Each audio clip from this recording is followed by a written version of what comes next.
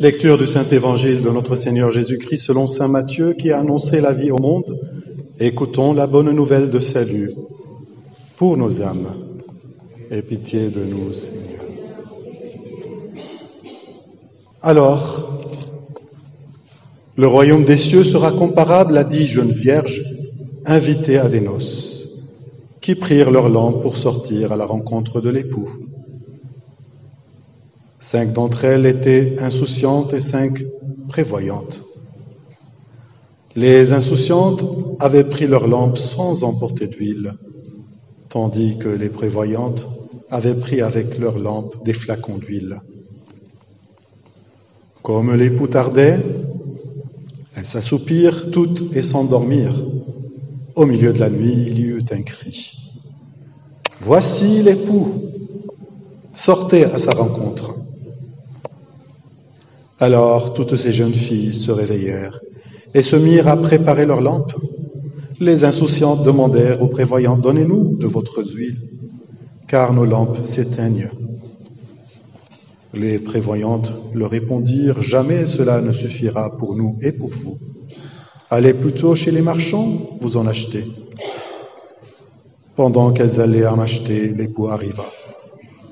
Celles qui étaient prêtes entrèrent avec lui dans la salle de noces, et la porte fut fermée. Plus tard, les autres jeunes filles arrivèrent à leur tour et dirent, Seigneur, Seigneur, ouvre-nous. Il leur répondit, Amen, je vous le dis, je ne vous connais pas, veillez donc, car vous ne savez ni le jour, ni l'heure. والأمان لجميعكم.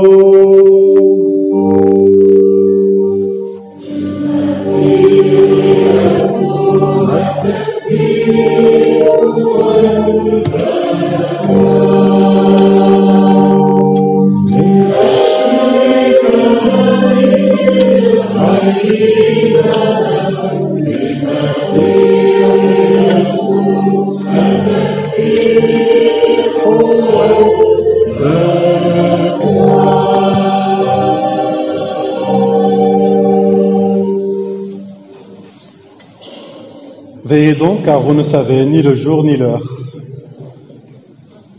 Frères et sœurs, nous sommes au cinquième dimanche du temps de la Croix glorieuse dans notre liturgie maronite, et vous avez bien compris que dans ce temps liturgique, nous parlons de ce qui va nous advenir plus tard.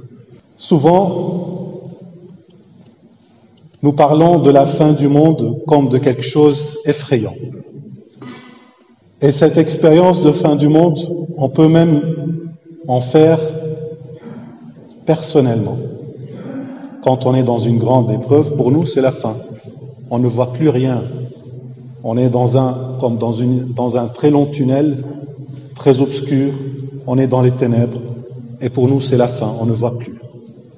Donc, ça peut être comparable à une épreuve dans laquelle on ne voit pas la fin. On ne s'en sort pas. La fin du monde. Ou la fin des temps. Ou la fin pour nous personnellement. De l'autre côté, aujourd'hui, Jésus fait une comparaison au niveau du royaume de Dieu. Et il compare le royaume de Dieu à un mariage. Dans un mariage, nous célébrons l'amour. Dans un mariage, nous sommes en général très contents, très heureux.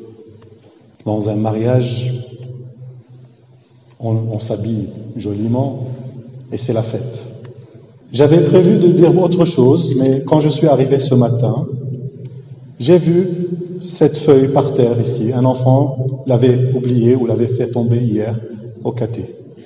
Hier, ils avaient caté et ils ont marqué que Dieu est amour. Dans un mariage, souvenez-vous, on célèbre l'amour. Donc, quelle, autre comparaison pour nous aider à comprendre ce royaume? Mais attention, j'aurais envie de, dire s'il y a des enfants du caté qui sont aujourd'hui avec nous, pour dire que Dieu est amour, il a fallu beaucoup de temps pour l'humanité, une très longue préparation. Oui, frères et sœurs, Jésus nous invite à y songer. Ce qui nous attend, ce qui nous attend au royaume de Dieu, c'est une fête dans laquelle on célèbre l'amour. Dans l'introduction préparée par Anthony, merci Anthony pour les préparations d'aujourd'hui, tu nous poses une question. Comment on compte nous préparer pour ce grand jour? Vous avez peut-être entendu cette histoire, il semblerait qu'elle est véridique, d'un saint de l'Église qui s'appelle Dominique Savio. Ce saint de l'Église, que beaucoup euh, aiment, un jour était en train de jouer avec ses copains, peut-être au foot, je ne sais pas. Et on lui dit, si c'était la fin pour toi, si tu peux plus rien faire après, si tu es, voilà, tu vas mourir, tu as encore quelques instants, que ferais-tu? Un peu la question d'Anthony. Comment prépares-tu à cette rencontre? Te prépares-tu à cette rencontre? Ben, Qu'est-ce qu'il a répondu? Je continue à jouer. C'est ce qu'il a dit. Il a beaucoup de confiance et beaucoup de foi pour ne pas s'ébranler, pour ne pas paniquer et dire voilà, il faut que je règle quelque chose, quelques histoires dans ma vie avant d'aller rencontrer Dieu. Il faut que je m'habille, mettre les habits de la fête. Je continue à jouer. Aujourd'hui, dans notre liturgie maronite, nous fêtons un saint qui est devenu saint, le soldat qui a, le soldat romain qui a transpercé Jésus à la croix. Vous voyez l'image de Jésus sur la croix où il a le, le côté transpercé. Le soldat qui a pris la lance et a transpercé Jésus la tradition dit qu'il s'appelle Longin et qui est devenu saint parce qu'il s'est converti. Il est allé vivre en Cappadoce, il est devenu moine. Certains disent aussi même qu'il est devenu martyr. Qu'est-ce qui a pu changer dans sa vie? L'Évangile nous dit, quand il a vu tous ces événements se passer après la mort de Jésus, le ciel s'obscurcir, les tremblements de terre, il va dire une phrase il est vraiment le Fils de, de Dieu. Donc il a eu la foi au pied de la croix. Hier, nous avons fêté dans l'église aussi Sainte Thérèse d'Avila et aussi, du côté de l'Orient, dans notre calendrier maronite, Saint Lucien d'Antioche. Deux grands saints qui ont œuvré pour développer la connaissance de Dieu Saint Lucien d'Antioche qui a fondé, il paraît, j'ai lu qu'il avait fondé une école biblique à Antioche, et Thérèse d'Avila, très connue pour tout ce qu'elle a écrit et toute la réforme à laquelle elle a contribué. Qu'est-ce qu'elle dit, Thérèse d'Avila? Que rien ne te trouble, Dieu seul suffit. C'est un peu la même réponse que Dominique Savio a donnée que rien ne te trouble, Dieu seul suffit. Je continue à jouer, je continue à faire ce que j'ai à faire, parce que je sais que je suis attendu à une grande fête où je vais célébrer l'amour. إخوة الأحبة بزمن الصليب القراءات بتحضرنا بتقلنا اسهروا وصلوا لأنه ما بتعرفوا أي ساعة تجي تجي الساعة وبيجي النهار ولكن القراءات اللي عم تحضرنا مش تتخوفنا.